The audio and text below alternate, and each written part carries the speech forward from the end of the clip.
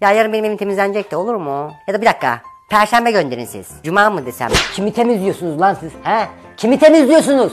Siz daha oğlum beni tanımıyorsunuz bak. Evlere temizlik mi? Ev ne ya? Ev, e, ev, ev, ev. Ben duydum daha önce bir ev duydum ama ev neydi ya? Evet ben bunların ilanlarını gördüm daha önce. Zaten temizlik ilandan gelir. Ya da idamdan da olabilir. Ay evim eski kocam gibi kokuyordu. Gelip temizlediler mis şu an mis. İyi de o kadar insan var. Niye bana sordunuz? Kokuyor muyum yoksa ha? Kokuyor mu? Niye bana sordunuz ya?